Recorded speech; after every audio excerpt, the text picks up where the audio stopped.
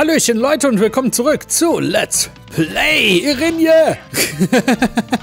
nee, natürlich äh, Let's Play Castlevania Aria of Sorrow. Das letzte Mal haben wir endlich das obere Stockwerk betreten und in dieser Folge werden wir uns da ein bisschen näher umschauen. Außerdem ähm, habe ich die letzte Folge ja ähm, meine Riesenwurmseele aktiviert. Schon wieder letzter Wächter! Mann! Moment, was sagst du eigentlich zu dem Laser? Oh, der ist äußerst effektiv. Ah. Nein, pfui. Nein, pfui. Nein, böser letzter Wächter. Böse. Ah. Parier doch nicht alles. Hm. Wenn ich nur wüsste, gerade auswendig, welche Seele wirklich effektiv gegen ihn ist. Oh, oh, oh, oh, geil. Ich habe seine Seele bekommen. Eine der nervigsten Seele im, Seelen im Spiel. Ah, damit können wir quasi gegnerische Angriffe blocken. Hier haben wir Satans Ring. Ähm, der erhöht ziemlich alle Werte. Aber ich glaube, ähm, war da nicht irgendwas von wegen, ich bekomme Schaden, wenn ich den benutze oder sowas? Nee, der ist einfach nur total gut. Okay. Seelenring. Es kann auch sein, dass ich das jetzt gerade wieder mit Dawn of Sorrow verwechsle, was ja gerne mal passiert. So, ähm, wir gehen den Weg. Oder muss ich dann nochmal an dem letzten Wächter vorbei? Nee, ich kann über den drüber fliegen. Wenn man die richtige Seele ausrüstet. Ah. Okay. Flupp, flupp. Oh, du kannst dich nicht umdrehen. Doch, kannst du. Huch! Au! Verdammt! Benutzen wir unsere letzten normalen Tränke, die bringen eh nicht mehr allzu viel. Verdammt! Äh, gut, er kann sich doch umdrehen. Gut, dass wir das geklärt haben, Mensch. so, Lubikant. Stirb! Und Stolas, du stirbst auch. Bitte, bevor du wieder irgendwas hierher äh, portest. Arschloch. Der hat sich mir genau in den Weg gestellt. Okay. Gott, hier geht ja der übelste Shit ab. What the fuck? Laser. Ah, okay. Ich habe noch ein paar normale Nervennahrung. Laser! Laser! ah, nein, nein, küss mich nicht, küss mich nicht. Wow. Okay. Danke. Äh. So, stirb, elendige Erinje. Meine Güte. Was ein Stress. So, Mensch. Lasst mich alle in Frieden. Okay. Äh, Peeping Eye. Äh, du kommst okay. Ah, hallo, äh, Beil. Na? Ich habe wieder äußerst wenig HP. Ah, oh. Ei, ei, ei, ei, ei. Okay. Aber bis zum Savepoint sollte ich es theoretisch noch schaffen. Theoretisch. In der Theorie heißt das. Ich glaube nämlich, der war hier drüben. Ach nee, hier ist erstmal was anderes. Und das Peeping Eye schlägt sogar hier aus. Ja cool.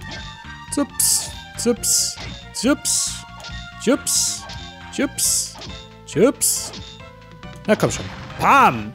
Und damit kommen wir zurück zum Clock Tower, wenn wir wollen. wenn wir dann unbedingt zurück in den Clock Tower möchten, falls wir nicht genug davon bekommen, dann können wir da durch. So, da war ich jetzt nur drin, um das mal erkundet zu haben. Und weiter geht's zum Save Point, damit ich hier keine Heilgegenstände mehr verschwenden muss. Das wäre echt toll. Ah, dann war der weiter oben. Dann war der hier. Da drüben. Da war er. Definitiv. Ja. ich kenne mich halt aus. So.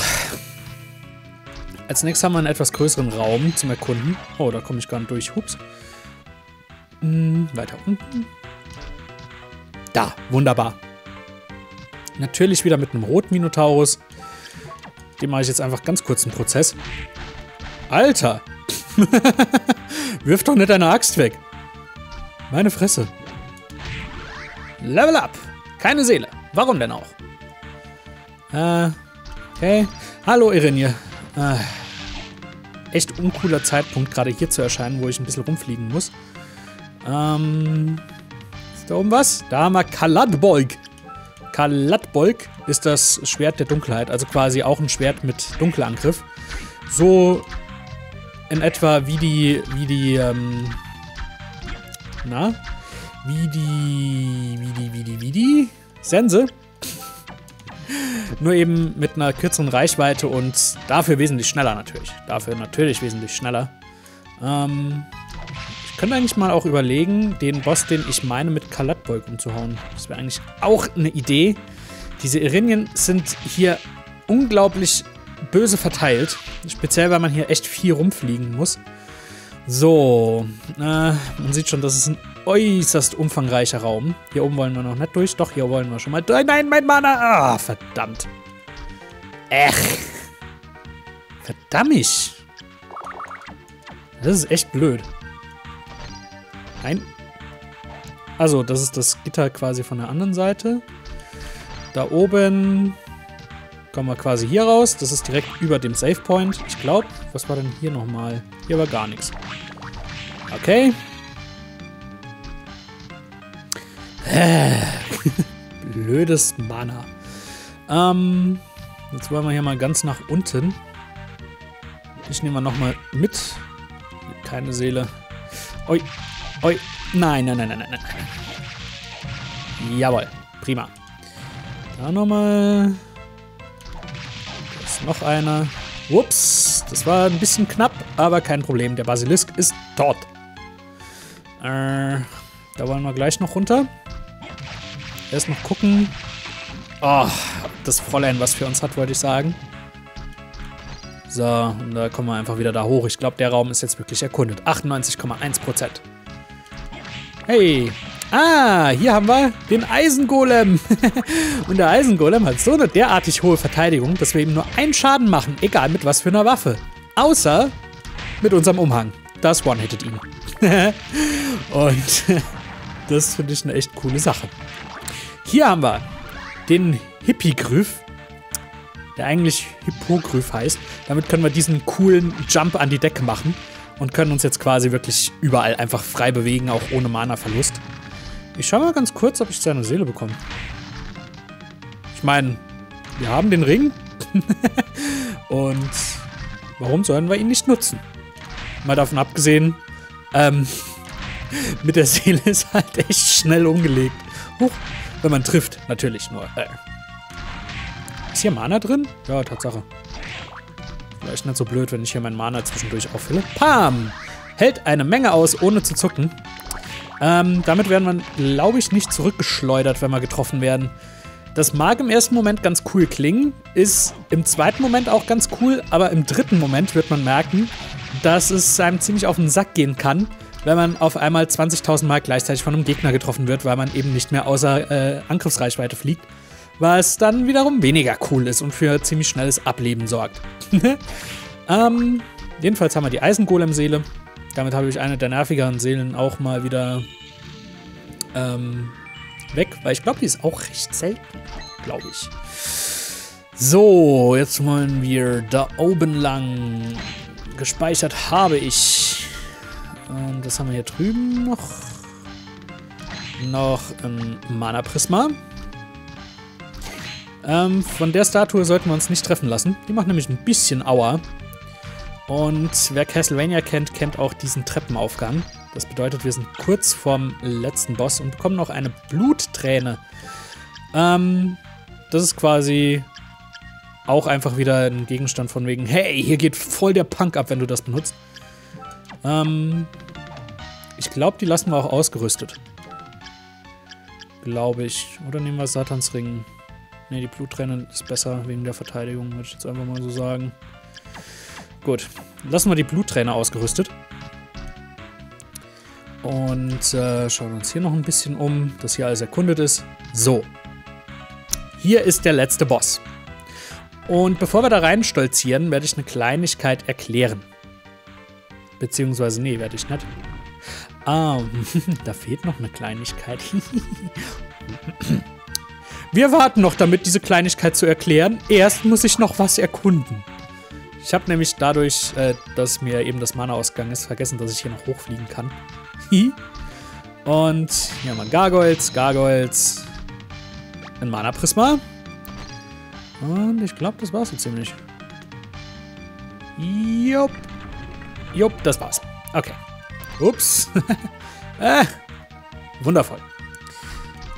Ich gehe nochmal in den Safe Room, um meinen Mana aufzufüllen. Ich habe jetzt wirklich ein bisschen viel verbraucht. Ich möchte nicht ohne Mana in den Bosskampf gehen. Ja, eigentlich ist es wurscht, ob ich in dem Bosskampf Mana habe oder nicht. Aber doch. Was haben wir denn für Seelen ausgerüstet? Wir nehmen mal... Ich hätte jetzt eigentlich gern die Rotminotaurenseele.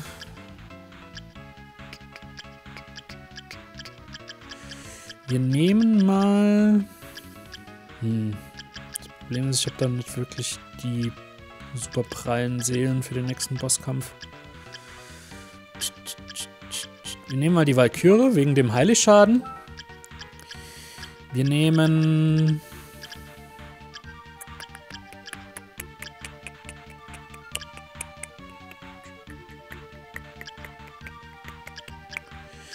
nehmen die Hexe. Und wir nehmen den Kopfjäger. Ich speichere nochmal mit der aktuellen Ausrüstung. Sicher ist sicher. so, ich kann auf dem Weg zum Boss eine Kleinigkeit erklären. Ähm, an dieser Bosstür entscheidet sich, welches Ending wir erstmal bekommen. Es gibt in diesem Spiel insgesamt drei Endings. Wenn wir zur Bosstür jetzt reinmarschieren und den Boss hauen, bekommen wir das Good Ending. Es gibt weiterhin noch ein Bad Ending und ein Best Ending. Das Bad Ending und das Best Ending bekommen wir nur unter einer ganz bestimmten Voraussetzung. Und die werde ich zeigen. Allerdings möchte ich euch erst das Good Ending zeigen. Das wahrscheinlich die meisten von euch sehen werden. Zu spät, Soma. Draculas Macht es in meinen Händen. Äh, Draculas Macht's mir egal, Mann. Ich suche nur den Ausweg aus dem Schloss. Lass mich heim. Mit meinen neuen Kräften kann ich dich leicht rausbringen. Aber du hast noch etwas, was mir gehört. Meine alte Taschenuhr. Äh, du besitzt die Seelen meiner Dämonen. Kann ich diesen Frevel verzeihen? Niemals. Wüsste ich, wie würde ich sie dir auf der Stelle wiedergeben? Selbst dann lastet auf dir immer noch der Frevel des Diebstahls. Ist dir das nicht klar? Äh, nein. Und Diebe müssen angemessen bestraft werden. Was bist du für ein egoistischer Mistkerl? Genau. Du bist des schweren Diebstahls schuldig. Ich verurteile dich zu Tode. Du bist ja irre. Ach was. Und als besondere Freude werde ich dich selbst bestrafen. Hier haben wir Graham, den äh, vorerst letzten Boss des Spiels. Und Graham hat äh, zwei Phasen in seiner. Nee, insgesamt sogar drei Phasen. Tut mir leid. Upsala. ich habe vergessen, dass ich die Fledermaus gerade nicht ausgerüstet habe. So, in der ersten Phase feuert er diese Feuerbälle, die ich eben äh, bravourös einfach abgewehrt habe, dank meiner übermächtigen Waffe. In der zweiten Phase sehen wir, was er machen wird. Ups, ups. Da würde mich mal interessieren, ähm, ob das mit der Hexe auch abgewehrt werden kann. Ach komm, feuer mal wieder die großen Feuerbälle. Ich will das jetzt wissen. Nein. okay. Gut. Dann weichen wir da einfach ganz normal aus. Ist auch in Ordnung. Dann war die Seele voll für den Arsch. Macht aber gar nichts. So. Aha, wir haben ihn jetzt in seiner zweiten Phase. Ähm, indem er einfach quasi diese Feuerbälle um sich rumwirft. Hier, wo ich sitze, ist so ein kleiner Safe-Spot, kann man sagen, an dem er uns niemals treffen kann. Deshalb werde ich ihn einfach von hier behaken, bis er in seine dritte Phase wechselt. Ich glaub's ja nicht. Ich bin noch im Spiel. Du hast Draculas Macht immer noch nicht. Dir werde ich's zeigen. Und jetzt explodiert er in ganz viel Blut. Und naja, wird das hier. Ähm, hier erscheint dieser lustige Laser von oben, der uns verdammt viel Schaden macht. Außerdem kann er mit seinen Klauen angreifen. Wir sehen immer ganz kurz, mit welcher Klaue er angreifen wird. Ähm, man kann hier entweder, wie ich es mache, ähm, die kleinen Soleis benutzen. Ähm, oder die Todessichel. Was bei der Todessichel ganz interessant ist, ist, dass man quasi geduckt bleiben kann und trifft ihn immer noch. Allerdings ähm, macht die, glaube ich, meines Wissens sogar weniger Schaden. Ich will es jetzt aber auch ehrlich gesagt nicht ausprobieren. sondern ich verarsche ihn einfach ein bisschen. Huch, oder er verarscht mich, das ist auch gut. So. Okay. Ach, komm schon. Jetzt wollen mich seine Krallen aber echt gerade so ein bisschen trollen, ne? So, rechte. Und ich renne auch noch voll rein wie so ein Blöder. Links. Im Endeffekt ist es, ist es recht easy. Das ist nicht... Nein! Oh, er wird transparent und explodiert. Und ist tot. Seine magischen Kräfte haben ihn verlassen. Das Schloss ist schwach. Das Portal zu deiner Welt müsste sich jetzt öffnen. Was soll ich tun? Befiehl dem Schloss, das Portal zu öffnen. Vielleicht klappt es. Schön, ich versuch's. Äh, Schloss? Ja, ich befehle dir. Ja, öffne das Portal. Okay. Bring uns, die wir leben, dorthin zurück, wo wir hergekommen sind. Okay, das kann ich tun. Ah. Nichts passiert? Du irrst dich, das Gewebe des Raums beginnt zu reißen. Zeit und Raum fallen in sich zusammen. Naja. Sind wir wieder zurück? Ja, kein Zweifel, wir sind wieder zu Hause. Ausgezeichnet, gut gemacht. Hey, was ist denn mit den anderen? Keine Sorge, sie werden bald hier sein. Und das Schloss? Ist das Schloss noch in der Finsternis? Ja, es erwartet die Ankunft seines neuen Herrn. Eines Tages wird jemand wieder Draculas Gestalt annehmen. Doch wann, das weiß ich nicht. Was ist Sommer? Wir sind wieder zu Hause. Wozu die Trauermine? Mir ist, als riefe das Schloss noch immer nach mir. Vielleicht gehöre ich ja in Wahrheit dorthin. Hm. Ach, Einbildung. Dü -dü -dü. Wir sind entkommen. Du bist daheim. Ja, hoffentlich bilde ich mir das nur ein. Du kannst dir Gedanken machen, wenn dich das Schloss wieder ruft. Jetzt aber ruh dich aus. Ja, du hast recht. Ja! Und das, meine Damen und Herren, war das Good Ending von Castlevania Aria of Sorrow. Wie gesagt, das ist das mittlere von drei Endings. Es gibt noch ein Bad Ending und ein Best Ending. Beide Endings können wir nur erreichen unter einer ganz bestimmten Voraussetzung, wie ich schon gesagt habe. Allerdings werde ich auch diese Voraussetzung erst in der nächsten Folge zeigen. Ansonsten lasse ich euch äh, jetzt kurz mal die Credits durchlaufen. Und ähm, werde schon mal ein bisschen was dazu sagen. Denn Castlevania ist ein verdammt geiles Game. Spielt's, kauft euch ein Spiel. nee, es ist wirklich ein verdammt gutes Game. Gefällt mir unglaublich gut. Und es ist ja noch nicht vorbei. Wir haben weder 100% Map Completion noch 100% Soul Collection noch die beiden verbleibenden Endings. Aber trotzdem haben wir hier die Credits, die wir jetzt irgendwie überbrücken müssen. Na, was haltet ihr denn von Credits? Schreibt's doch mal in die Kommentare. Äh, zum Glück sind sie nicht allzu lang, das muss man auch dazu sagen. Ich möchte jetzt noch nicht so viel zum Spiel erzählen, das ist das Problem, weil es gibt noch die richtigen, richtigen Credits nach dem Best Ending, die ich dafür eigentlich nutzen möchte, für den ordentlichen Abschluss des Spiels, sagen wir es mal so. Und das Spiel lässt mich nicht so ganz. Ich könnte natürlich einfach Start drücken, dann werden die Credits vorbei. Aber das ist ja auch eher so, ne? Da kommen die Special Thanks, das ist doch schon mal super. Und der Kenichiro Honda, und wir bekommen zwei Charaktere auf dem Ending-Bildschirm. Ah. Und ein Kreuz. The End. Fragezeichen. Eigentlich gehört dahin, weil das ist nicht das Ende. Spoiler! Konami. Und wir sind wieder auf dem Titelbildschirm. Ähm, mit dem Good Ending schalten wir den Julius-Mode frei. Glaube ich, wenn ich es jetzt richtig im Kopf habe.